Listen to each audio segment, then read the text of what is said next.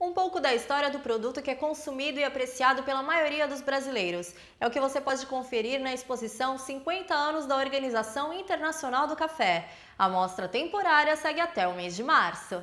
A exposição leva o visitante a fazer uma viagem no tempo para conhecer um pouco mais sobre a história deste grão, que há muito faz parte da vida do brasileiro e que ganhou poder social e econômico, principalmente em Santos.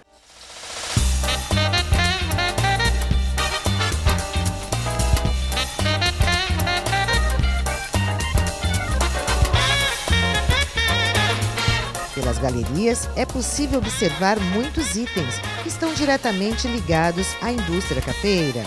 Nas paredes, grandes nomes da história confirmam que o gosto pelo cafezinho há muito tempo ultrapassou fronteiras.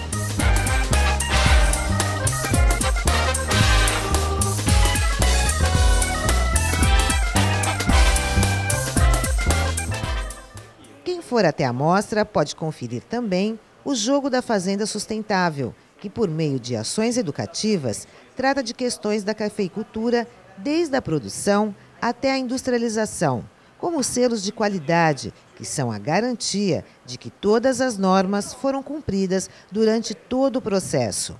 E tem mais. Um dos pontos altos que todo mundo tem gostado muito, é o túnel do tempo, de várias imagens ao longo do ano com pessoas tomando café, referenciando o café ao longo dos anos. O Mapa Mundi Interativo também é destaque da mostra, com informações sobre os cinco maiores países produtores e exportadores de café. Vale lembrar que o Brasil é o maior produtor mundial e, no ranking do consumo, ocupa a segunda posição.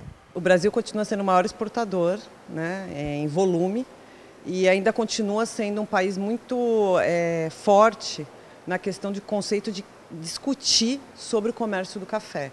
Então, por exemplo, o presidente da, da OIC hoje é um brasileiro. Então fica a dica. Uma oportunidade tanto de aprender um pouco mais sobre a trajetória do café pelo mundo.